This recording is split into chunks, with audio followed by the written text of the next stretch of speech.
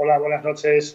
En primer lugar, nuestra felicitación y reconocimiento, también nuestro agradecimiento pues, por ese paso al frente en momentos de crisis. Son los momentos en los que las empresas pueden demostrar su capacidad de echar una mano y arribar el hombro cuando somos todos muy necesitados. Es lamentable que algunos sectores no lo quieran ver así, ¿no le parece? Es muy lamentable. La demagogia que hay contra las empresas en general, la verdad es que vamos, es, es muy lamentable, ¿no? porque al final somos la, estructura productiva de este país, ¿no? y sobre todo las empresas medianas y pequeñas, las empresas familiares, que, que somos una gran parte del de, el Producto Interior Bruto que se genera aquí. Y es verdad que nosotros no nos quedamos dormidos, o sea, ante la caída absoluta que se produjo, pues nuestra apuesta fue por ayudar en todo que, todos los frentes que pudimos y el ejemplo de, la, de, los menús de la Comunidad de Madrid pues es uno de ellos, ¿no? que en aquel momento era muy complicado de asumir porque eh, vamos, pues, parecía que estamos viendo el escenario una película de terror ¿no? y nosotros pues buscamos la forma de poder atender las necesidades que, tenían, que en aquel momento era la distribución periférica de todos los pueblos de la comunidad, eh, que parece mentira la cantidad de pueblecitos que, tenemos, y digamos, pues hemos estado distribuyendo durante casi dos meses a, 74 municipios de toda la periferia, haciendo 1.300 kilómetros diarios en, en seis rutas de nuestros repartidores para llevar el menú diario, un menú perfectamente equilibrado y, pensado específicamente para esos críos. Eh, y en algunos pueblos llegábamos para llegar un solo menú, eh, en algunos pueblos de la sierra, por ejemplo.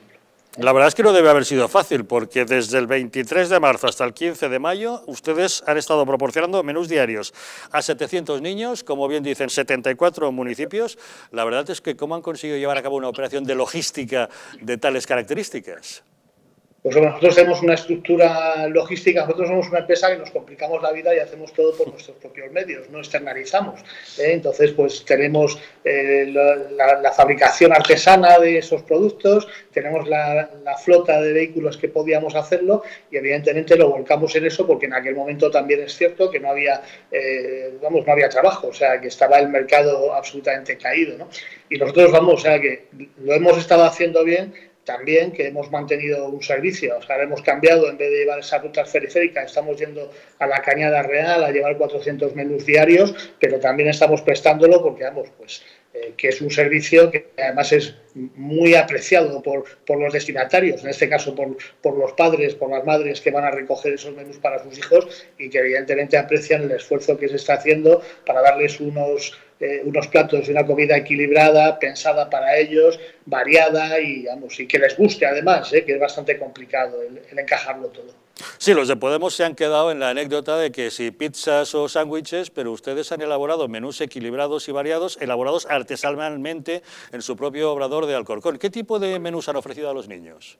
Pues muy variados, con, un entrante, pues bien una crema o una, una pasta, una legumbre, eh, y luego un segundo plato, pues con una carne, con un pescado, eh, eh, ese tipo de cosas, con complicaciones adicionales porque gran parte de los destinatarios de, esos menús que nosotros no teníamos identificados, pero sí que sabíamos eh, y teníamos que hacerlo anónimamente, pero por ejemplo, pues no podíamos incluir cerdo dentro de las elaboraciones porque había pues bastantes familias de origen musulmán y evidentemente no se podía cuidar. Había también eh, algún destinatario que era celíaco y también atendíamos ese tipo de dietas y la verdad es que vamos pues buscando siempre un aporte calórico eh, adecuado, un, equilibrio, nutrientes, fibras, eh, para que los niños, fruta fresca, lácteos, para que los niños tuvieran una, una, alimentación absolutamente variada y equilibrada eh, pues durante ese, ese confinamiento que hemos padecido toda nuestra sociedad. Yo he escogido una semana al azar, de las muchas en las que ustedes estuvieron distribuyendo esos menús, para ver qué tipo de platos distribuían, y la que yo he escogido tenía lo siguiente. Lunes, macarrones con tomate, pavo estofado y zumo natural. Martes, burrito de ternera, pincho de tortilla y yogur. Miércoles, crema de calabaza, salchichas de pollo y tiramisú. Jueves, ensaladilla rusa, palitos de pescado y mandarina. Viernes, judías verdes, jamoncitos de pollo y yogur. Y he visto que otras semanas tenían arroz con tomate y albóndigas, hojaldre de verdura, filetitos rusos, lentejas estofadas, o merluza en salsa verde. Oiga, a mí me parece de lo más atractivo y apetitoso, ¿no?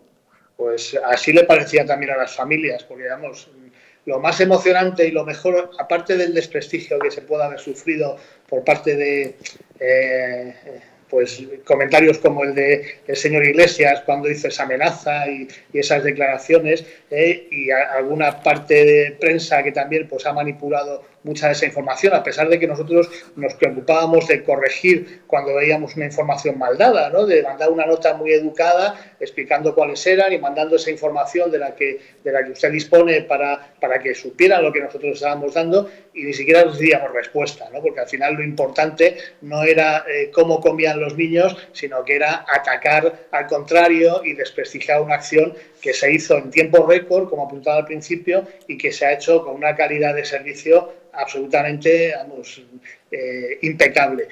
Eh, los otros operadores han trabajado muy bien también, porque de verdad que la situación era muy complicada. O sea, los niños no les dejaban ir a los colegios a recoger los menús, con lo cual no se podía recurrir al, al sistema tradicional, por decirlo de alguna forma, de que lo hicieran sus comedores o sus empresas de catering en esos primeros días. Luego, a lo mejor, se ha prolongado más de lo que debía haberse prolongado, pero que de verdad que el esfuerzo que han hecho las otras empresas también ha sido muy encomiable y lo de que comían pizza todos los días es absolutamente incierto. También están publicados sus menús y, vamos, pues son cuestiones muchas veces de, armas arrojadizas que, se utilizan pues, para desprestigiar determinadas acciones sin entrar en el fondo y en el contenido real de esas acciones.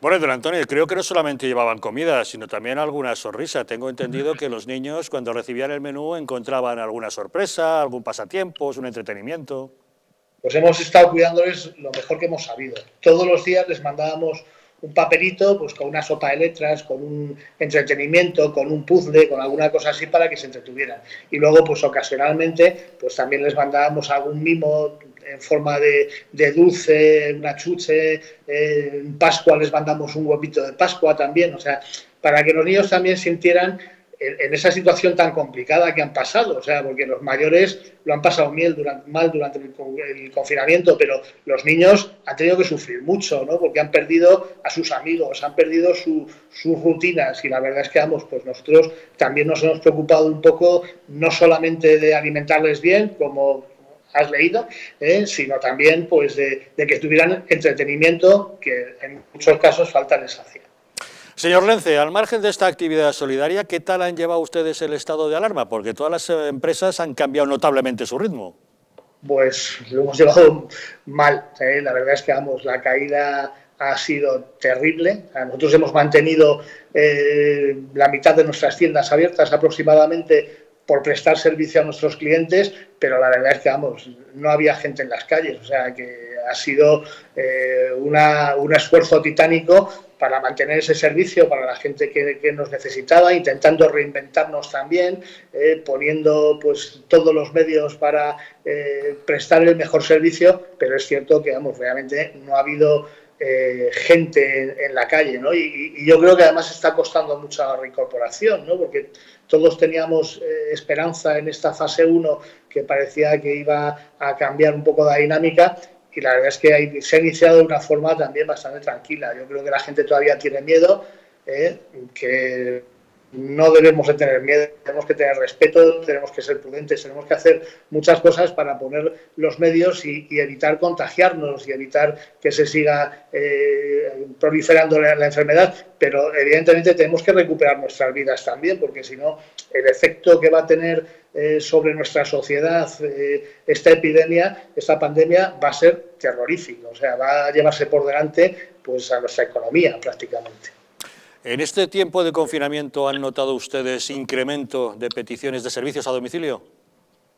Sí, sí, el servicio a domicilio ha sido prácticamente lo único que ha funcionado en, cierta medida. O sea, la gente sí que pues, quería enviarse eh, pues, regalos pues, con, con, ocasiones especiales. La gente no podía verse y quería mandarse ese cariño y sí que hemos tenido algo de movimiento en ese sentido pero evidentemente que no compensaba el movimiento habitual de nuestra actividad, ¿no? ¿Eh? Eso ha sido una forma, pues, de lo que decía antes, ¿no? De reinventarnos y de intentar prestar ese servicio que la gente demandaba, ya que no podían hacerlo personalmente, pues había gente que lo pedía para su domicilio o bien también que, que pues lo pedía para enviárselo a alguien, ¿no? Pues el Día de la Madre, por ejemplo, pues fue, vamos, tremendo. Ese día sí que hubo muchos pedidos, eh, fue bastante complicado llegar a todo porque realmente pues la gente no podía verse, pero seguía queriéndose, ¿no? Con lo cual pues había que hacerlo de esa forma. Y, ahora va, a haber un cambio, yo creo que en los hábitos también, ¿no? aparte de por las propias circunstancias de que la hostelería pues va a abrir con unas limitaciones eh, enormes, o sea, ya han abierto las terrazas, pero con, con aforos mucho más reducidos. Cuando abran las partes de ambos los interiores de los restaurantes, pues el aforo va a ser entre el 30 y el 40%, con lo cual la gente tendrá que buscar otras formas, ¿no? Y el servicio a domicilio, pues va a ser una de ellas, que, en las que hay que apostar por ello ¿eh? y para prestar ese servicio hay que estar preparado. Me imagino que una marca como Viena Capellanes, con 140 años de historia, tiene que haber superado muchísimas dificultades a lo largo de los tiempos. Pues 147 exactamente, que son los que cumplimos este año, eh, y entre otras cosas debemos de ser de los pocos que hemos superado dos pandemias, ¿no? porque también vivimos la gripe de 1918. ¿no? Curiosamente, hace poco tiempo nuestra documentalista, eh, que nosotros somos cuidadosos con nuestra historia y nos gusta guardar cosas y buscar cosas, y encontró precisamente un anuncio de la posgripe del 18 en el que vamos, pues lo que se publicitaba en aquel momento es que todos nuestros establecimientos cumplían todas las medidas higiénicas y ese tipo de cosas, ¿no? O sea que nos hizo mucha gracia la coincidencia porque ha sido, vamos, justamente muy poco antes de la, de la pandemia, ¿no?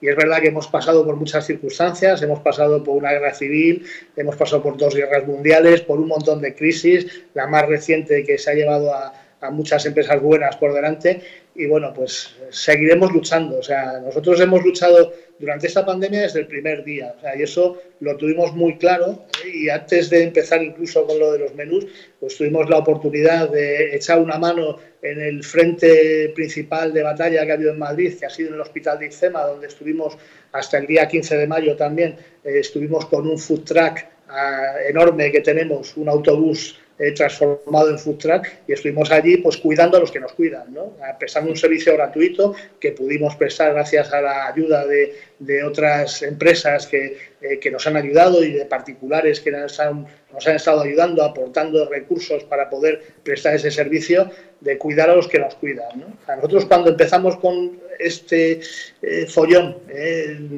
decidimos empezar a ayudar desde el primer día, como teníamos un montón de producto que no íbamos a vender porque el mercado desapareció un día para otro, pues también lo donamos a comedores sociales, que en aquellos momentos lo, necesitaban mucho porque tuvieron que cambiar el modelo, ya no podían cocinar ellos y, tenían que darle a la gente bolsas de comida para que se llevaran a sus casas porque no se podía comer dentro de los comedores por, el evidente riesgo de contagio que había. Y la verdad es que desde el primer día, momento empezamos a hacer cosas de esas con una idea de que la solidaridad es contagiosa y la verdad es que hemos conseguido un contagio de solidaridad enorme a nuestro alrededor. Hemos tenido muchísima gente que ha confiado en nosotros, que nos ha ayudado a poder hacer muchas de las cosas que hemos hecho y la verdad es que nos sentimos muy orgullosos de ello. Don Antonio, ya por finalizar, puede que mucha gente no lo sepa, pero Viena Capellanes nació en 1873 como una panadería especializada en pan de Viena en la calle que entonces se llamaba Capellanes y de ahí su nombre, ¿no? Efectivamente.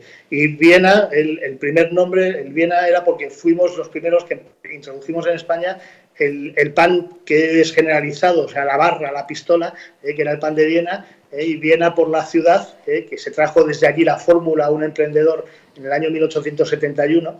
Y, y bueno, pues Capellanes, porque la primera taona estuvo en la calle Capellanes, y a partir de ahí, pues 147 años de historia.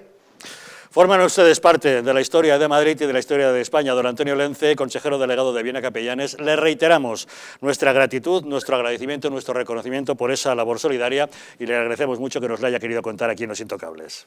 Pues yo agradezco muchísimo el reconocimiento porque no es habitual. ¿eh? De verdad que es verdad que las empresas se las demoniza más que, eh, más que cuidarlas. Así que muchísimas gracias. Pues las empresas forman parte de nuestra sociedad y nos ayudan a seguir adelante. Muchísimas gracias, don Antonio Lence. Muchas gracias.